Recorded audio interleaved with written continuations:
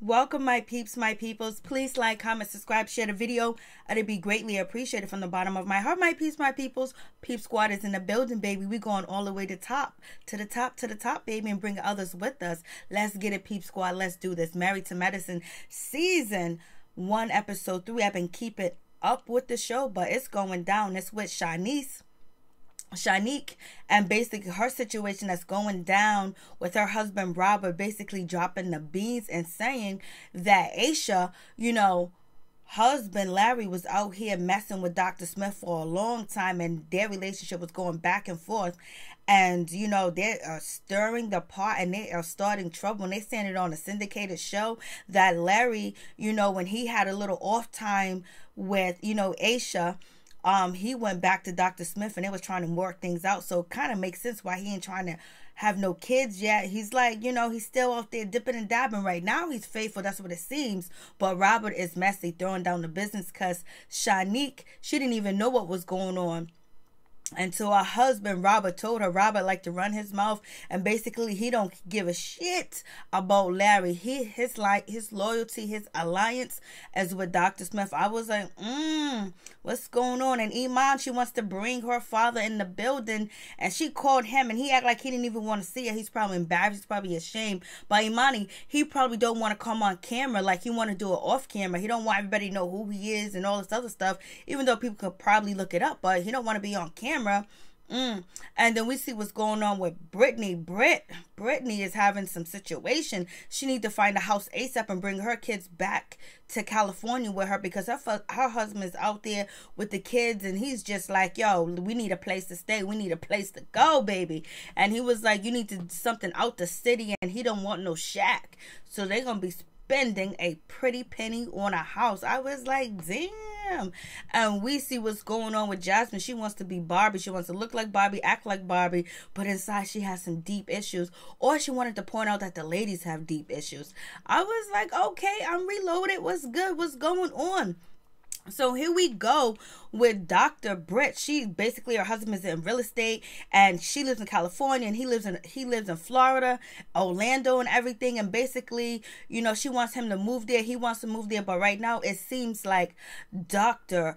Brittany is basically taking her time and she ain't really moving fast enough and she don't really have an idea what house to look for in what area because now her husband's finally telling her that he don't want to live in a city. He want to live near close to her job or blase in the third. I'm like okay we'll see. You know what's going on? Brittany's having a good time in california. She's having a good time in la in that nice house with the pool. She's chilling. She's living a life while her husband is back there in orlando taking care of the kids working. I guess he does real estate but she said he could do his job in any state. And basically, it kind of means that he don't need to show up or be there or be present so he can do everything online, you know, FaceTime. So she's paying for two places. Maybe he got a little income coming through too as well. But she do misses her kids, but she's living her best damn life. And she didn't have no issues growing up. Her issue was she wanted to be dark and have more kinkier hair. I feel you, girl. This oh, everybody has an issue. Everybody has a problem. But I'm so glad they did bring up colorism. But colorism especially is out there, especially in and you know, California, LA, everywhere, all over the world, colorism is a problem. TV colorism is a problem, but she kind of have like a dense idea about what's going on. But, you know, um I was just like, okay, we'll do it. And so here we go with this mess right here. This mess is just way too much. I'm just like, hey. So we got this situation going on with none other than Aisha. Basically, she finally got her husband to take her to the hospital to take her to, you know, trying to have a baby. Basically, they need to have sex and more sex and more sex and more sex and all the other good stuff. And, you know, the doctor didn't really scare her, but she gave her the same information that Dr. Simone gave her. But Dr. Simone was like being very real with it she wasn't no sweetening up and making nice. Baby, you 39. You need to already have been pregnant. Why are you still taking birth control? But she's gonna stop taking my birth control. Should have been stopped taking your birth control pills if you wanted to have a baby. Like, what's going on? What's cracking lacking? I'm just like, come on, miss me with this craziness. I don't think Larry wants to have a kid. I think Larry is basically gonna find another woman that is more fertile to have kids with. That's what it seems like. I don't know. But Larry was like, "We sh- you should have never even went to Robert and Shanique's party at all because you know what? If you're gonna invite, you know, Dr. Smith and bring her there, then we don't need to be there." And basically, he was like, "We don't need that drama in our life." But he doesn't want his wife to find out that you know he might have been doing something shady back in the day, even though it was like six years ago. But you know, he was trying to get back with Dr. Smith, and he was all up in, it. and they have some overlaps in their relationship that Larry was dating both of them at the same time, hitting it at the same time doing it at the same time. But Aisha, she won.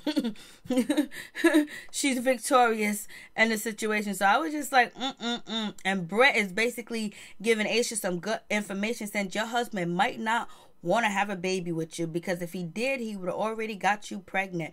And the excuse that he's using ain't good. I was like, mm. And so here we go with the shady doctors. Well, I don't know if we're going to call them shady doctors because basically the reason why I think, you know, Robert and Shanique is, is shady is because, you know, inviting Dr. Smith to, you know, um, Robert's birthday party when she knew Aisha was going to show up, you know, and, you know, that's that's some kind of shit right there. That's shady because no woman wants to be at a party where you know their ex is their ex lover's lover is there. I mean their lover's ex is at the party. You know nobody wants to be there. Nobody every nobody wants to go to a party with that type of tension. You want to go there chill and have a good time. But Robert's telling us that Rob, Robert's telling us that Larry's been out here dipping and dabbing, and Shanique is telling us Shanique is telling us that she gave Aisha a heads up and a warning. I was like, You gave her a heads up and a warning? Then why did she act so surprised? Why did she cry? Why was she having an emotional breakdown because she seen how beautiful Dr. Smith was?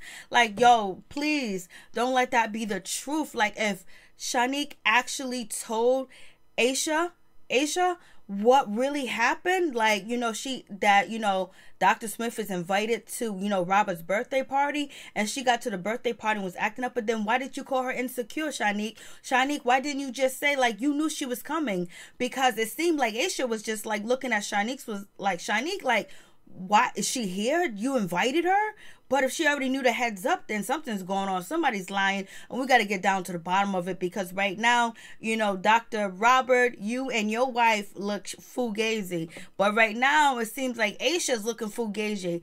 Aisha's looking fugazi if she already knew that the woman was going to be there. She didn't have to show up. She didn't have to stay tuned. She didn't have to come in. She didn't have to go. I'm just like, yo, mm mm mm. Shadiness. And so they go out for a dinner because they have date they have date night. And basically you know Shanice she's there chilling but Robert is telling her that he didn't like what was going on at his birthday party that he was feeling a certain type of way. He was just like yo what was going on with Aisha? And basically you know Shanique she told him what was good. She was like, Aisha was showing up, showing up, and showing out, basically acting like, you know, she was all heartbroken because, you know, Dr. Smith was there and all this other stuff. But she didn't mention to her husband that she gave her the heads up. And then her husband basically spilled the beans talking about Larry was out here double dipping.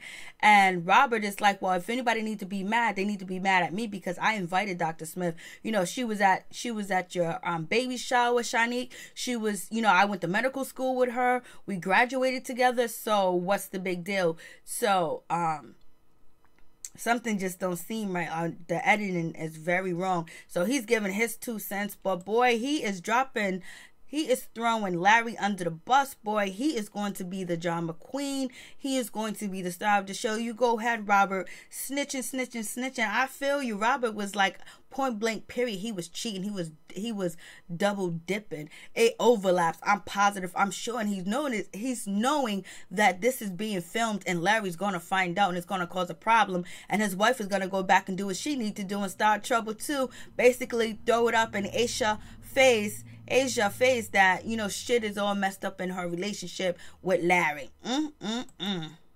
The dirty, and then we get on to Noelle. Noelle basically she owns her own business. She got it going on. She got a practice, Western medicine, regular medicine. She has she has all types of medicine, you know, she's doing yoga and basically she she's talking about anxiety and having panic attacks and she had that and basically she didn't want to be a pill popper so she has chose yoga to help her. She's very smart too and she's very nice. She got it going on and she understands the realness. She's fucking woke straight up and down. So moving on to that, she she's trying to teach her patient some shit. Her patient is like, I don't care what you talking about. I want some Xanax, and I get ten Xanax. She was like, I don't think it was gonna be as bad as it was, but you know, I hurt myself. I had anxiety. You know what would help? Some Xanax. I need some Xanax. See, people get hooked on drugs quick, fast, in a hurry. They don't have to be young. They don't have to be old. They can be all ages and all races. So be careful of the medication that you take because you become hooked. You become addicted. Your body comes to it. You know, your, your body just builds on your body can't live without it and then your body starts to crack. You start going through them withdraw, withdrawals and shit like that. And it's crazy because they prescribe medication all the time. They get you hooked. The next time you come in there looking for medication they thinking you're a drug addict or you're a liar. But basically they make these medication to to to go right towards the euphoria and everything of our body to make us feel like it's just like this like we in heaven like we're walking on you know we're on top of the world with these drugs and, and, situations. That's why a lot of people choose not to use drugs. So this shit is crazy. This lady's straight up addicted letting us know and she just want her pills. She, she was like yo can i get 10 of my anxiety pills? So you know the drug companies are making billions of dollars. It's so it's so important that we go healthy and we go natural and we try everything that we can before we get addicted to certain medication or depend on medication because our bodies are are ingenious sometimes. I probably said that the wrong way. So we get on to Imani. Imani is chilling. Imani's chilling. Imani's chilling. She's with her husband. Basically, she's letting her husband know that she wants to see her father. She wants her father back in her life. Blas and the third, her husband was like, I don't think it's a good idea. You know, I don't know what type of crazy, what type of, you know, heartbreak that you're going to be bringing us. Like, I know you want a storyline, baby, but this is too much. Bringing your father, you done found him. Now you're bringing him on the show. You want to bring him to the house. He's, he's, he's not with it, but he's going to support his wife and his, and Iman, Imani, Iman, she really wants to, you know, meet her father and, make, and maybe have a relationship or even either the door's going to be closed the doors are going to be open but she wants to come to a conclusion. She wants it she wants to stop wondering stop guessing about the situation. I don't blame her. I think she should do it and see how it works out. Her father she texts her father um, that she wanted to see him as soon as possible whenever he's free. And he goes, let me think about that because he's probably going through some things. He probably feel embarrassed. He probably feel like a letdown. It's probably going to be heartbroken for him. He's going to be heartbroken because he's going to see what he missed out on. He's going to see that his daughter came to be a wonderful person and either going to hurt him or break him where he was like, see, she was so much better without me. I made the right decision. Probably go drink again. And he probably have so much guilt and so much shame of what he did and then facing the music. A lot of people don't like to face the music shit. It's hard to face the music, especially when you know you was wrong. There's no excuses, but there are excuses, but there really isn't, but there are. So he was addicted to drugs and everything that went on in that scene and what he went through back in the day at that time. You know what I mean? Because, you know, we had to overcome a lot. Shit ain't easy. So that's why we need our reparations, baby. So, um, and then plus coming on camera if he knows about that situation, might not feel like it's authentic or genuine why his daughter wants to meet up, why his daughter wants to meet up with him. So we'll see what happens with this situation. I was just like, damn. So we'll find out, baby. I wonder. It's almost like you know, um, Dr. Simone's situation, looking for her father too as well. I guess they're taking it right out the handbook, baby there she goes. She looks beautiful. I think I think she's beautiful. I like that bald head, boy. She be rocking it. She look good. And we got the two ladies together. We got Shanique, and we got Shanique, and we have Jazmin. And Jazmin's in the business.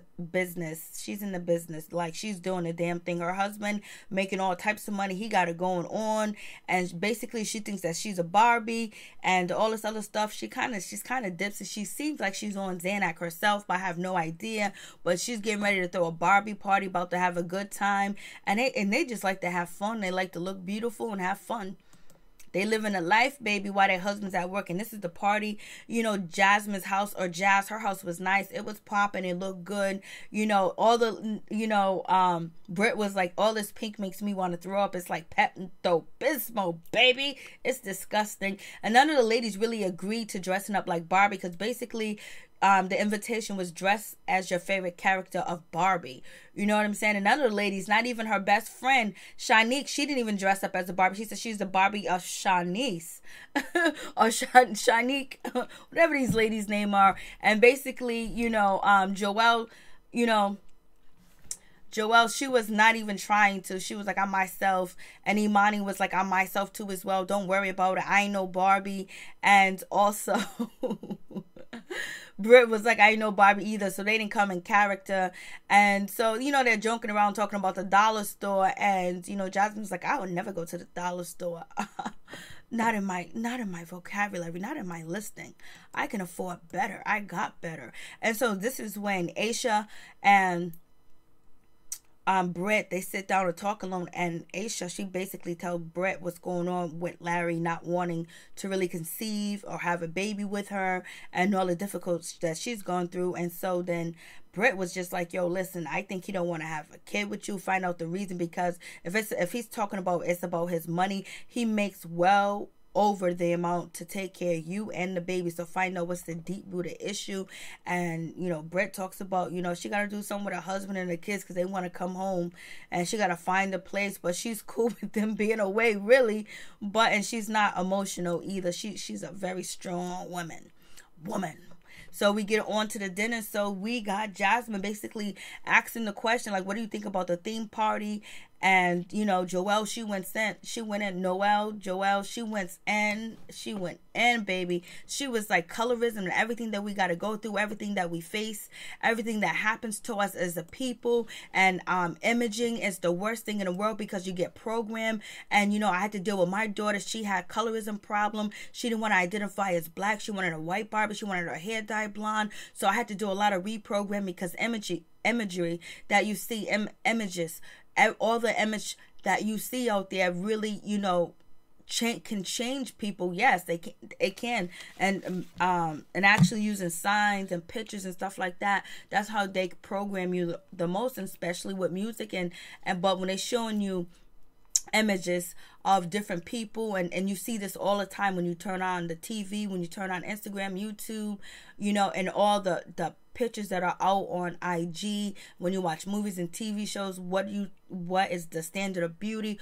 All the ladies really agree that like you know they have to try to compete you know to try to be beautiful because nobody really cared about them because they were black women and they were biracial women too as well. Like they was trying to figure out what the white man wanted what he thought was attractive because what he thought was like the god center of things. And I, and I think when they say that it's because you know the caucasian male can the ones that are in power can control you know networks tvs websites and blogs where they can put the image that they think is beautiful out there and broadcast it to the world and have everybody agree, especially like People magazine, you know, um, all the magazines that people used to look at that used to have delivered at their house or go in the grocery store and read the magazine papers, but that shit is obsolete. So now it's commercial imagery, you know, ads and things like that. So, you know, um, she's basically making a good point and all these ladies even aisha she had a problem too as well with you know colorism and people not thinking that she's beautiful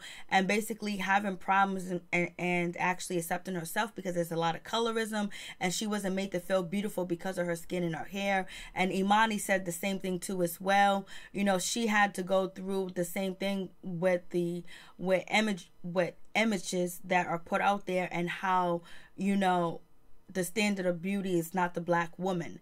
And black women have to go through so much to get attention. And even the biracial women are agreeing. And she talks about you know have dealing with teenage girls that have eating disorders because they want to be a size 16 they want to look like a barbie. Because of you know some of the first images that they do see are on tv is barbie doll the barbie doll commercial commercials for christmas. Get a barbie doll. You know everybody holding a barbie doll. So now you think that this is the most beautiful thing in this world. So you want to identify with it. So when you don't don't look like it, it's a problem. And so we'll see.